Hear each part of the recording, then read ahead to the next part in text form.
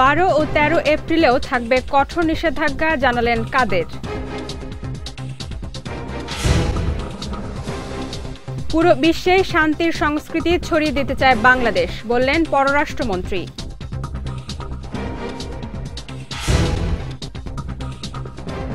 এবং দেশে করোনায় ফের রেকর্ড, মৃত্যু আটাত্তর, শনাক্ত পাঁচ হাজার আটশো উনিশ।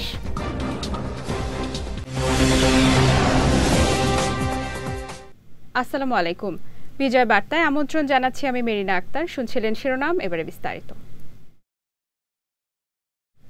চলমান কঠোর নিষেধাজ্ঞা বারো ও তেরো এপ্রিলেও চলবে বলে জানিয়েছেন আওয়ামী লীগের সাধারণ সম্পাদক ওবায়দুল কাদের। সকালে তার সরকারি বাসভবনে নিয়মিত ব্রিফিংয়ে একথা জানান তিনি। ওবায়দুল কাদের বলেন, আগামী চোদ্দ এপ্রিল থেকে শুরু হবে অপেক্ষাকৃত কঠোর ও সর্বাত্মক লকডাউন। এ সময় বৃহত্তর স্বার্থে চোদ্দ এপ্রিল থেকে শুরু হওয়া সর্বাত্মক লকডাউনে জরুরি সেবা ছাড়া সকলকে ঘরে অবস্থান করার আহ্বান জানান তিনি। বা চলমান লকডাউনে ধারাবাহিকতা চলবে তেরো তারিখ পর্যন্ত। এরপর এপ্রিল মাসের চোদ্দ তারিখ থেকে সর্বাত্মক লকডাউন আমি দেশের মানুষকে সংকটকালে ধৈর্য ধারণের আহ্বান জানাচ্ছি। স্বাস্থ্যবিধির প্রতি সামান্য অবহেলা আমাদের চিরচেনা জীবন থেকে ছিটকে দেবে। এ অবহেলা স্ত্রী, সন্তান, পরিবার, পরিজনের এই মায়াময় পৃথিবী হয়ে যেতে পারে অচেনা। জীবনে পাশাপাশি জীবিকা, চাকা সচল রাখতে আমাদের আস্থা, ঠিকানা দেশরত্ন শেখ হাসিনার উপর আমি জনগণকে আস্থা রাখার আহ্বান জানাচ্ছি। ভরসা রাখুন মহান আল্লাহ পাকের প্রতি। শুধু সংঘাতপূর্ণ এলাকায় নয়, বাংলাদেশ পুরো বিশ্বে শান্তির সংস্কৃতি ছড়িয়ে দিতে চায় বলে জানিয়েছেন পররাষ্ট্রমন্ত্রী ডক্টর এ কে আব্দুল মোমেন। সকালে সেনা সদরে এক সেমিনারে তিনি কথা বলেন। তিনি বলেন, বাংলাদেশ সবসময় শান্তিতে বিশ্বাস করে। সেই লক্ষ্যেই বাংলাদেশ সেনাবাহিনী জাতিসংঘ শান্তিরক্ষা মিশনে কাজ করে যাচ্ছে। জাতির পিতার জন্ম শতবার্ষিকী উপলক্ষে বাংলাদেশ সেনাবাহিনীর আয়োজনে প্রতিবেশী তিন দেশের সমন্বয়ে দেশে চলমান শান্তির অগ্রসেনা অনুশীলন উপলক্ষে এই সেমিনারের আয়োজন করা করা হয়। এতে অংশ নেন বাংলাদেশ ও ভারতের সেনাপ্রধান সহ ভুটানের ডেপুটি চিফ অব অপারেশন এবং শান্তিরক্ষা মিশনের দুজন ফোর্স কমান্ডার। মহামারী করোনা ভাইরাসে গত চব্বিশ ঘন্টায় দেশের ইতিহাসে সর্বোচ্চ আটাত্তর জন মারা গেছেন। এ নিয়ে মৃতের সংখ্যা বেড়ে দাঁড়াল নয় হাজার সাতশো উনচল্লিশ জনে। এর আগে গতকাল শনিবার দেশে করোনার সর্বোচ্চ সাতাত্তর জনের মৃত্যু হয়েছিল। এছাড়া করোনা আক্রান্ত হিসেবে শনাক্ত হয়েছেন আরও পাঁচ হাজার আটশো উনিশ জন। এ নিয়ে মোট শনাক্তের সংখ্যা ছয় লাখ চুরাশি হাজার সাতশো ছাপ্পান্ন জনে দাঁড়াল। স্বাস্থ্য অধিদপ্তরের এক বিজ্ঞপ্তিতে এসব তথ্য জানানো হয়। এছাড়া আরও চার হাজার দুইশো বারো জন সহ এ পর্যন্ত মোট সুস্থ হয়েছেন পাঁচ লাখ ছিয়াত্তর হাজার পাঁচশো নব্বই জন। গত ২৬ সাতাশ ও আটাশ মার্চ। হেফাজতের বিক্ষোভ চলাকালে হামলা, ভাঙচুর ও অগ্নিসংযোগের ঘটনায় আরও বিশ জনকে গ্রেফতার করা হয়েছে। গতকাল সন্ধ্যার পর বিভিন্ন এলাকা থেকে তাদের গ্রেফতার করা হয়। পুলিশ জানায়, সহিংস ঘটনাসমূহের প্রাপ্ত স্থিরচিত্র ও ভিডিও ফুটেজ পর্যালোচনা করে অভিযুক্তদের শনাক্ত করা হয়। এর মধ্যে হরতাল চলাকালে ব্রাহ্মণবাড়িয়া ঘাটুরা এলাকায় অবস্থিত বাখরাবাদ গ্যাস ডিস্ট্রিবিউশনে ভাঙচুর ও অগ্নিসংযোগের মূল হোতা শামীম মিয়াও রয়েছে। এদিকে বঙ্গবন্ধুর মুরাল ভাঙচুরের ঘটনায় বিএনপি কর্মী আরমান ও হেফাজত কর্মী বাকেরকে দশ দিনের রিমান্ড মঞ্জুর করেছেন সিনিয়র জুডিশিয়াল ম্যাজিস্ট্রেটের দ্বিতীয় আদালত। সুনামগঞ্জে তেত্রিশ কেভি বিদ্যুৎ সঞ্চালন নির্মাণাধীন লাইনের কাজ শেষ হওয়ার পর চালু না হতেই ঝড়ে তেরোটি খুঁটি ভেঙে পড়েছে। এতে জামালগঞ্জ বিশম্ভপুর ও তাহিরপুর সহ তিনটি সড়কে যান চলাচল বন্ধ রয়েছে। ভোরে কালবৈশাখী ঝড়ে সুনামগঞ্জ, জামালগঞ্জ সড়কে বড়ঘাট এলাকায় খুঁটিগুলো ঝড়ে ভেঙে পড়ে। প্রত্যক্ষদর্শীরা জানায়, তাহিরপুর ও বিশ্বম্ভপুর উপজেলায় বিদ্যুৎ সরবরাহের জন্য সুনামগঞ্জ তেত্রিশ কেভি বিদ্যুৎ সঞ্চালন লাইন থেকে এই সংযোগ লাইন নির্মাণ করা হচ্ছিল। কিন্তু চালুর আগেই ভোরে ঝড়ে তেরোটি খুঁটি লাইন নিয়ে ভেঙে পড়ে।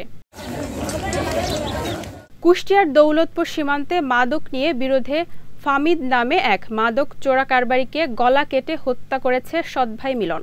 সকালে উপজেলার প্রাকপুর ইউনিয়নের সীমান্ত সংলগ্ন জামালপুর গ্রামে এ ঘটনা ঘটে। প্রত্যক্ষদর্শীরা ও স্থানীয়রা জানায়, সীমান্তের শীর্ষ মাদক চোরাকারবারি ও সন্ত্রাসী ফামিদ সকালে নিজ বাড়ির পাশে এনামুলের দোকানে বসে চা পান করছিল।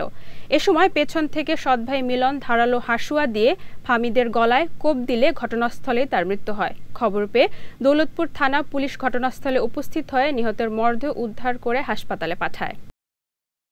টাঙ্গাইলে ফেন্সিডিল সহ নাজমুল ইসলাম ও সিরাজুল ইসলাম নামে দুইজনকে আটক করেছে র্যাব। সকালে টাঙ্গাইল র্যাব বারো সিপিসি তিনের ভারপ্রাপ্ত কোম্পানি কমান্ডার সহকারী পুলিশ সুপার মোহাম্মদ এরশাদুর রহমান এক প্রেস ব্রিফিংয়ের মাধ্যমে এ তথ্য নিশ্চিত করেন। তিনি জানান, গোপন সংবাদের ভিত্তিতে ঢাকা টাঙ্গাইল মহাসড়কে অভিযান চালিয়ে তাদের আটক করা হয়।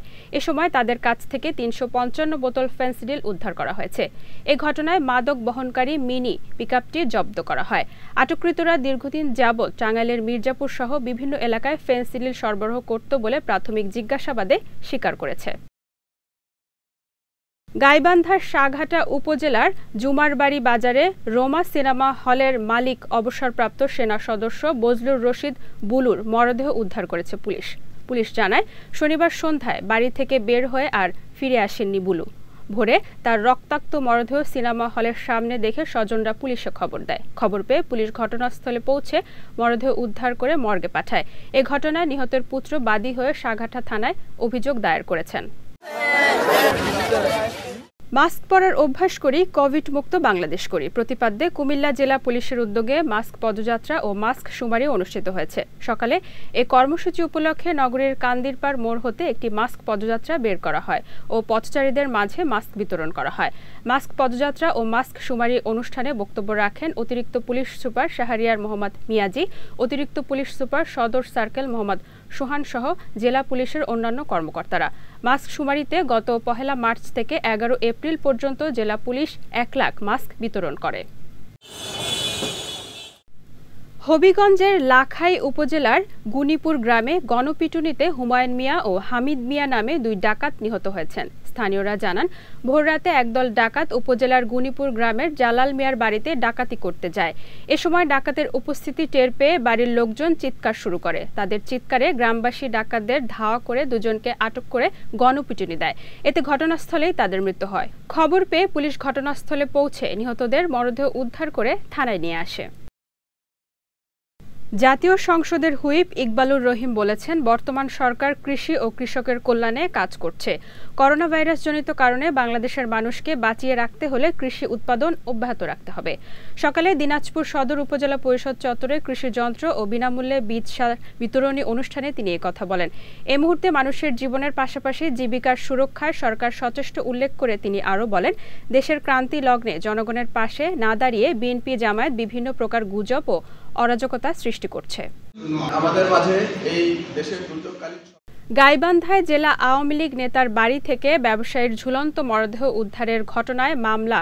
প্রক্রিয়াধীন রয়েছে বলে জানিয়েছেন পুলিশ সুপার। দুপুরে নিজ কার্যালয়ে এক সংবাদ সম্মেলনে জেলার পুলিশ সুপার মোহাম্মদ তৌহিদুল ইসলাম জানান, পুরো বিষয়টি খতিয়ে দেখার জন্য তিন সদস্যের একটি তদন্ত কমিটি গঠন করা হয়েছে। এই কমিটিকে সাত কার্য দিবসের মধ্যে তদন্ত প্রতিবেদন জমা দিতে বলা হয়েছে। এদিকে কেন্দ্রীয় কমিটির নির্দেশে জেলা আওয়ামী লীগের উপদপ্তর সম্পাদক পদ থেকে মাসুদ রানাকে অব্যাহতি দেওয়া হয়েছে। দলীয় কার্যালয়ের সংবাদ সম্মেলনে জেলা আওয়ামী লীগের সাধারণ সম্পাদক আবু বক্কর সিদ্দিক লিখিত বক্তব্যে মাসুদ রানার অব্যাহতির বিষয়টি জানান। বরগুনার বিষখালী নদীর বিভিন্ন এলাকায় অভিযান চালিয়ে প্রায় সাত লাখ টাকার কারেন্ট জাল জব্দ করা হয়েছে। সকাল থেকে দুপুর পর্যন্ত কোস্টগার্ড, মৎস্য অধিদপ্তর ও পুলিশের যৌথ অভিযানে এসব জাল জব্দ করে পুড়িয়ে ফেলা হয়। এ সময় শামীম নামের এক জেলেকে তিন হাজার টাকা জরিমানা করা হয়েছে। অভিযানে উপস্থিত ছিলেন বরগুনার জেলা প্রশাসক হাবিবুর রহমান, পুলিশ সুপার মোহাম্মদ জাহাঙ্গীর মল্লিক, জেলা মৎস্য কর্মকর্তা বিশ্বজিৎ কুমার দেব ও নির্বাহী ম্যাজিস্ট্রেট মেহেদি হাসান সহ অনেকে। কুমিল্লার চৌদ্দগ্রামে প্রধানমন্ত্রী ও সাবেক রেলমন্ত্রীর ছবি সম্বলিত ব্যানার ও ফেস্টুন রাতের আধারে ছিঁড়ে ফেলেছে দুর্বৃত্তরা। এ ঘটনায় থানায় একটি অভিযোগ দায়ের করা হয়েছে। মামলার অভিযোগে বলা হয়, মাস চারেক আগে শুভপুর ইউনিয়নের পাঁচ নং ওয়ার্ডের বিভিন্ন গ্রামে প্রধানমন্ত্রী ও সাবেক রেলমন্ত্রীর ছবি সম্বলিত কয়েকটি ব্যানার ও ফেস্টুন সড়কের পাশে গাছে ও পিলারের লাগায় ইউনিয়ন যুবলীগ। এ ব্যাপারে চোদ্দগ্রাম থানার ভারপ্রাপ্ত কর্মকর্তা শুভ রঞ্জন চাকমা জানান, তদন্ত করে অপরাধীদের বিরুদ্ধে দ্রুত আইনগত ব্যবস্থা নেওয়া হবে। ভারত থেকে বাংলাদেশে প্রবেশের সময় এবার বিএসএফ এর গুলিতে ভারতীয় এক কিশোর গুলিবিদ্ধ হয়েছে। ভোরে অবৈধভাবে সীমান্ত পেরিয়ে বাংলাদেশে তার নানার বাড়িতে বেড়াতে আসার সময় কুড়িগ্রামের ফুলবাড়ি উপজেলার অনন্তপুর সীমান্তের আন্তর্জাতিক সীমান্ত পিলারের কাছে এ ঘটনা ঘটে। আহত কিশোরের নাম মিলন মিয়া। পরে নাগেশ্বরী থানা পুলিশ তাকে উদ্ধার করে কুড়িগ্রাম জেনারেল হাসপাতালে ভর্তি করে। ঘটনার সত্যতা নিশ্চিত করে কুড়িগ্রাম বাইশ বিজিবির অধিনায়ক লেফটেন্যান্ট কর্নেল মোহাম্মদ জামাল হোসেন জানান এ ব্যাপারে লালমনিরহাট বিজিবি পতাকা বৈঠকের জন্য ভারতীয় বিএসএফ এর সাথে যোগাযোগ করছে। কিশোরগঞ্জের ভৈরবে নকল কয়েল তৈরি ও বাজারজাত করার অপরাধে দুই কারখানাকে দুই লাখ চল্লিশ হাজার টাকা জরিমানা করেছেন ভ্রাম্যমাণ আদালত। গতকাল বিকেল থেকে রাত পর্যন্ত শহরের জগন্নাথপুর ও শুম্ভপুরে দুটি কয়েল কারখানায় অভিযান চালায় ভ্রাম্যমাণ আদালত। এ সময় নকল দুইশো বিশ কার্টন কয়েল ও বিভিন্ন ব্র্যান্ডের এক লাখ পিস খালি কার্টন আগুনে পুড়িয়ে ফেলা হয়। ভ্রাম্যমাণ আদালত পরিচালনা করেন ভৈরব উপজেলা নির্বাহী কর্মকর্তা লুবনা ফারজানা। পটুয়াখালীর গলাচিপায় মোবাইল ফোন চুরির অভিযোগে রাকিব গাজী নামে এক কিশোরকে গাছের সঙ্গে বেঁধে নির্যাতন করে কাঁচি দিয়ে মাথার চুল কেটে দিয়েছে দুর্বৃত্তরা। এ সময় শিশুটির মা বাবাকেও নির্যাতন করা হয়। দুপুরে এ ঘটনার সঙ্গে জড়িত সোহেল মৃধা নামে এক যুবককে গ্রেফতার করেছে গলাচিপা থানা পুলিশ। মামলার বিবরণে জানা যায়, গলাচিপার ডাকুয়া ইউনিয়নের ফুলখালী গ্রামের জুয়েল মৃধার মোবাইল ফোন চুরির অভিযোগে গত শুক্রবার সকালে রাকিব গাজীকে ঘর থেকে ডেকে নিয়ে রশি দিয়ে আম গাছের সঙ্গে হাত পা বেঁধে নির্যাতন চালায় জুয়েল রাকিব ও সোহেল মৃধা সহ আরও দুই তিনজন বিজয় বার্তা শেষ করার আগে শিরোনামগুলো দেখে নিচ্ছি আরও একবার।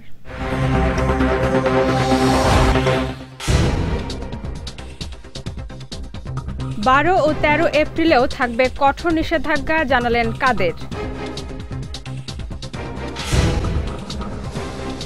পুরো বিশ্বে শান্তির সংস্কৃতি ছড়িয়ে দিতে চায় বাংলাদেশ, বললেন পররাষ্ট্রমন্ত্রী।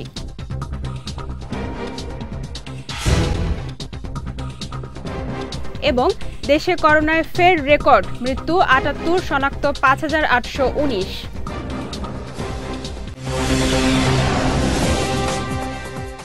বিজয় বার্তা শেষে আজকের মতো আমি মেরিন আক্তার আপনাদের কাছ থেকে বিদায় নিচ্ছি। আগামীকাল একই সময় বিজয় বার্তায় নতুন সব খবর দেখতে চোখ রাখুন বিজয় টিভিতে। এছাড়াও আজকের বিজয় বার্তার ভিডিও দেখতে পারেন আমাদের ইউটিউব এবং ফেসবুক পেজে। আমাদের ইউটিউব হলো YouTube dot com slash Bijoy TV official এবং আমাদের ফেসবুক পেজ হলো Facebook dot com slash Bijoy TV limited ভালো থাকুন আল্লাহ হাফেজ।